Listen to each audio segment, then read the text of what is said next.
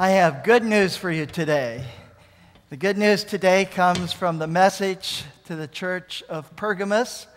It's found in Revelation chapter 2, and uh, we are in a series on the seven churches of Revelation. Revelation is a revelation of Jesus Christ.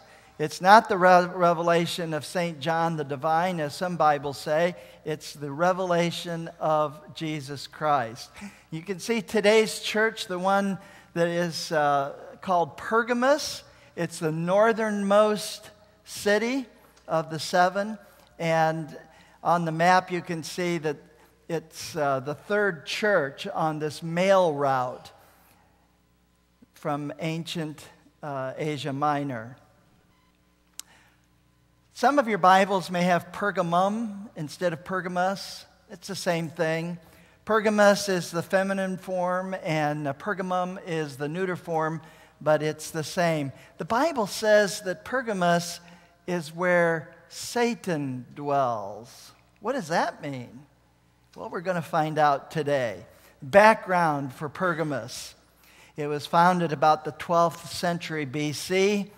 Uh, it was a natural fortress, the capital for 250 years, and they, they, they called the, the top of the hill the Acropolis, where, where the, the fortress was at the, at the very pinnacle of, uh, of a mountain. And uh, they had lots of temples there. There was a temple to Augustus, to Trajan, to Severus, and they had lots of uh, uh, of deities there. There was Zeus, Athena, Dionysus, Asclepius, and others. Uh, it was a city of royalty, authority, and beauty. There was a huge library there. They invented parchment, and there's uh, more about that uh, in a few minutes. And it was famous for its hospital and its medical school. All right, we're going to look at all of those things. You feel free to take notes if you like, but you can also go online and, and look at this whole presentation again if you really want to get into this and study it.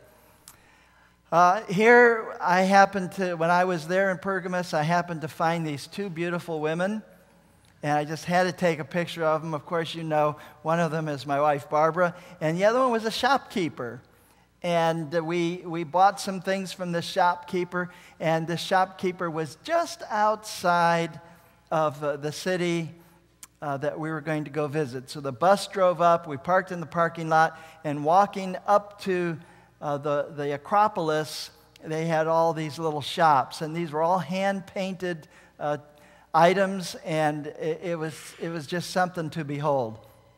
Here's the city wall at Pergamos. This is on, again, the top of a mountain. And you can see actually from this slide that there are, th- are three different types of blocks uh, that, that make up this wall. That is because the city was destroyed and rebuilt and uh, destroyed and rebuilt again. So there are three different types of blocks uh, or construction. Uh, you see on, on the right side at the top, that's one, and then right below that is another. And then over on the left side is still another construction. Guess which one is the oldest? It's the one on the left. That is the oldest, and they used no mortar. The blocks were perfectly cut and put in place. Amazing construction. Uh, the other constructions uh, used mortar uh, because they weren't quite as efficient in making the blocks. Uh, this is a site at the top of the hill, and this gentleman I took a picture of is actually exiting the Acropolis, or he's exiting the fortress at the top of the hill. there's the gate, so he's he's going away from the Acropolis. Uh, he's not coming in, but he's going away. And I took the picture so you could see in the background that there is a, a city down below. It's a, a, fairly major city. It's called Bergama today. And this is the gate to the Acropolis. Once you enter the gate, you can see immediately uh, the stone arch that was at Pergamos. This was uh, uh, torn down and then uh, reconstructed, but it's just a piece of architecture. But you can see the beautiful view you have from the top of the mountain.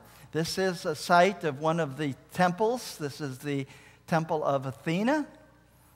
And again, notice the mountains in the background. This is one of their cisterns, how they got uh, the water and stored it.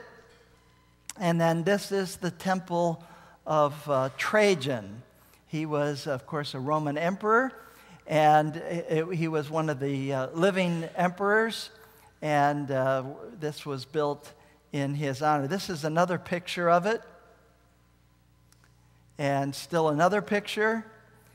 And you can see right above where I've written on the slide temple, you can see right above that that there are some arches right above the word temple. Here's a little better picture of it. And these are arches that are actually supporting the temple. This type of arch is actually uh, something that, that lends strength uh, to the architecture. So this is stronger than uh, if it had just been built on the, on the dirt. And if you go down low, uh, in like the basement, you can actually see the arches, and uh, they were in between the arches, there were places where shops existed, and people would uh, sell different things that they had made.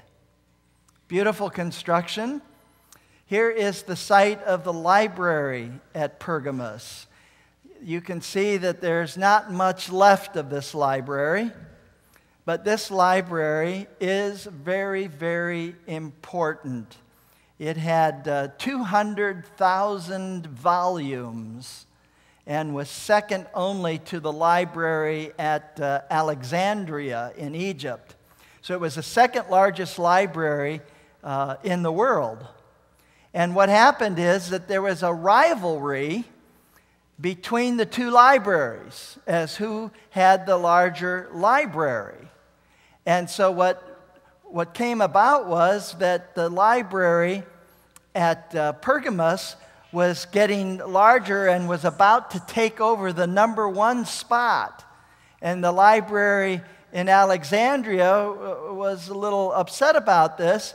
And so they pulled a few connections and they stopped all shipments of papyrus to Pergamos. So they couldn't have the papyrus to, to, to write on, and they couldn't make more volumes. So, what happened? Well, the, the folks in Pergamos invented something that we today call parchment. Uh, they were starting to write on the skins of animals, and they stretched it out and they dried it out and they wrote on it. So, this was a way for them to uh, to, to get more volumes in their library. Then uh, you all know the story of uh, Antony and uh, uh, Cleopatra. And these libraries were in constant uh, rival mode until finally Antony was infatuated with Cleopatra and he had the power to give the Pergamos library to the queen of Egypt, Cleopatra, and that he did, and that ended the rivalry between those two cities. So there's no extra charge for that. We just kind of threw that in today. We're not going to take up another offering. This is the stadium at the Pergamos. Again, you can see down below the city.